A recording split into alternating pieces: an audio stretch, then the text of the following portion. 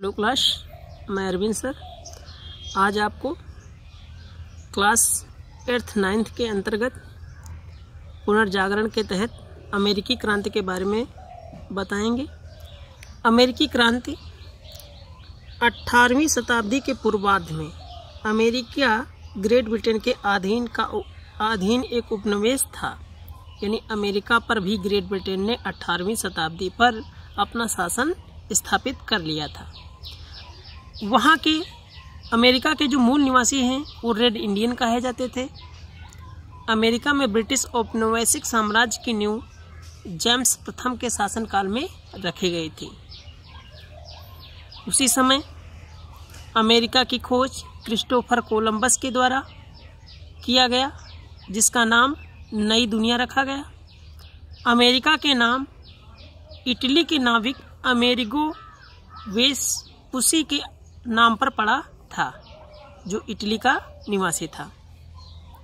America को स्वतंत्रता संग्राम 4 जुलाई 1776 को आरंभ हुआ था।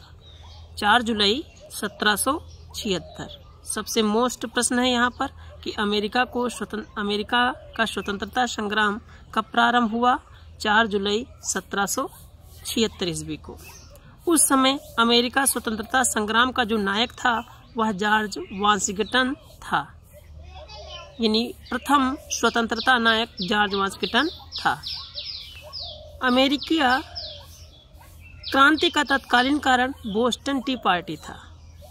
यानी अमेरिका में जो क्रांति हुई, उसका सबसे प्रमुख जो कारण हुआ, वो बोस्टन टी पार्टी। ये बोस्टन नामक बंदरगाह है।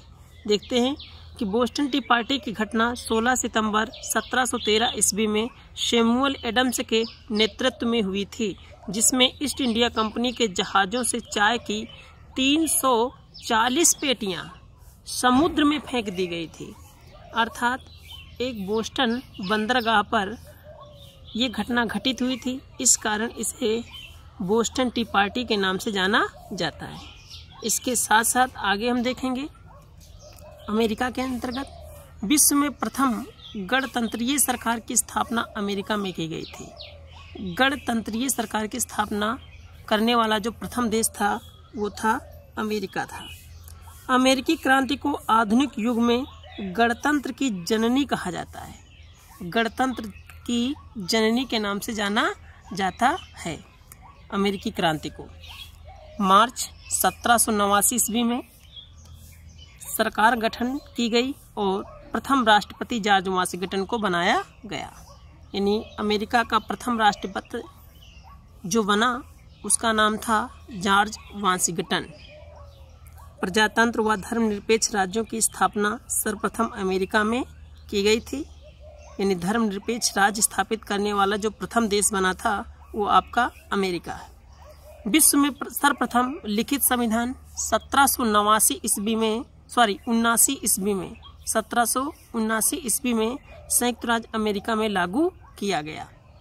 प्रतिनिधित्व नहीं तो कर नहीं का नारा भी अमेरिका स्वतंत्रता संग्राम के दौरान अमेरिका वासियों ने दिया था।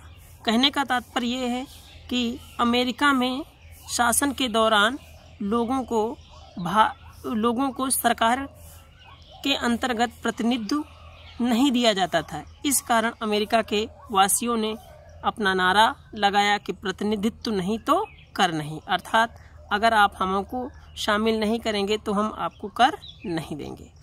मनुष्यों की समानता और उसके मौलिक अधिकारों की घोषणा करने वाला अमेरिका का प्रथम देश बना। यानी मनुष्यों में जो समानता होनी चाहिए सभी मनुष्य समान है, ऐसा मौलिक अधिकार की घोषणा करने वाला प्रथम देश अमेरिका बना था। अमेरिका में दास दास प्रथा, ये सबसे, वहाँ की सबसे प्रमुख समस्या थी, जिसके अंतर्गत शोषण किया जाता था दास प्रथा। तो दास प्रथा के को 1808 ईस्वी में अवैध घोषित किया गया और 1860 ईस्वी में अमेरिका के राष्ट्रपति अब्राहम लिंकन बने थे। यानी दास प्रथा को समाप्त करने वाला जो व्यक्ति था, वो अब्राहम लिंकन थे। इन्होंने क्या किया था? अमेरिका में दास प्रथा का उन्मूलन उन्नीस ईस्वी में किया था। Thank you class